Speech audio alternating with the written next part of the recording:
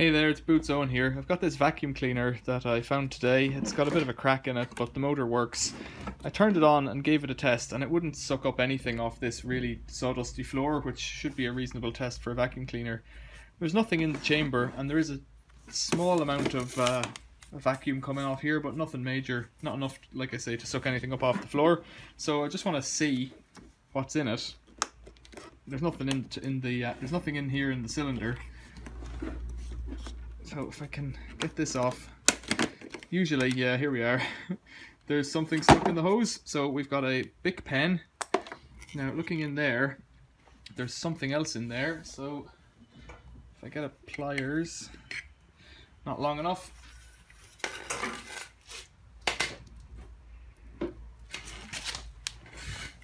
Got a needle nose pliers here. It looks like a sock.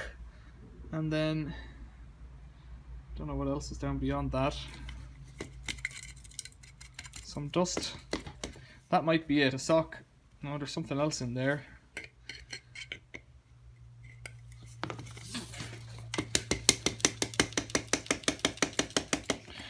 Okay, we're not getting out. So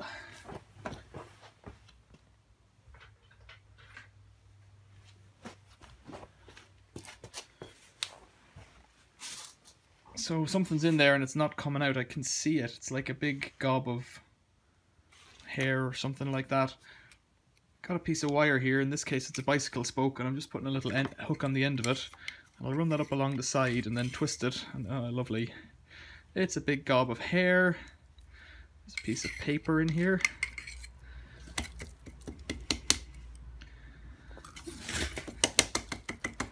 And that may be the end of it. Now let's just tip this out. There's some stuff in there as well. McDonald's drink straw. A bit more hair. Let's turn it on and see what happens.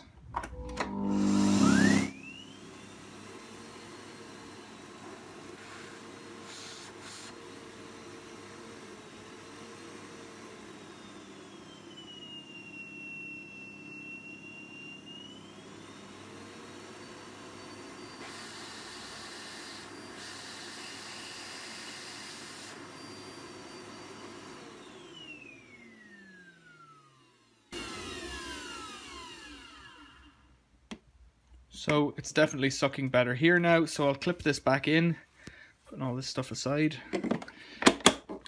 Let's see at this end now. I won't suck up all the big stuff.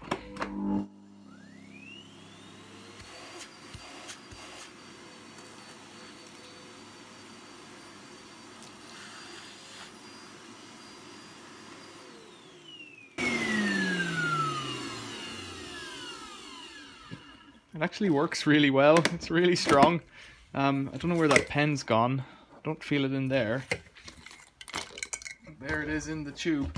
I won't go into just for fun. I think the pen got caught and then the sock got caught beyond the pen. So I just want to see if these things will go through it now that they're individual.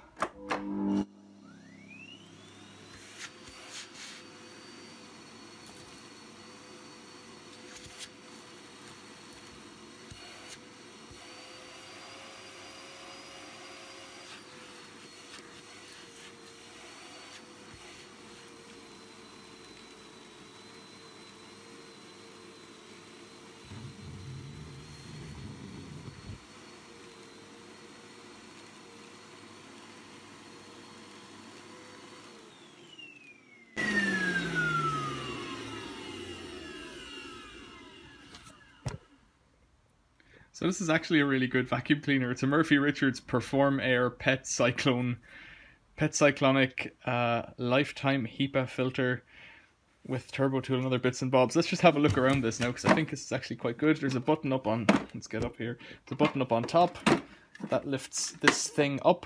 That's the door on the top of it there. And inside you've got a little caddy with a handle and then there's an opener on the base with a button button on top here and that releases a door on the bottom. This one's a bit wet, which I'm not too keen on because it was outside when I when I found it.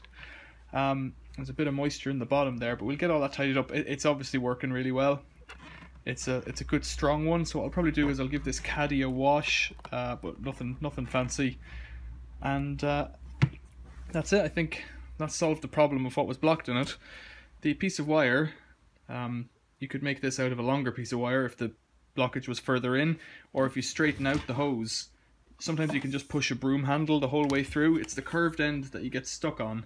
So if you can kind of fi find out where the blockage is, sometimes it's possible using these tabs here on the side or somehow this this will come apart, but it can be a bit of a labor to try and figure it out and most models are different so you've just got to spend a bit of time tinkering with it. I won't bother because there's nothing wrong with it. But yeah, that's that's what happens. So instead of just tossing out your vacuum cleaner because because it's got a tiny crack in the plastic and uh, won't suck because you're too ignorant to pick a pen up off the floor and a sock, well, there you go. Problem solved. Thanks for watching. See you later.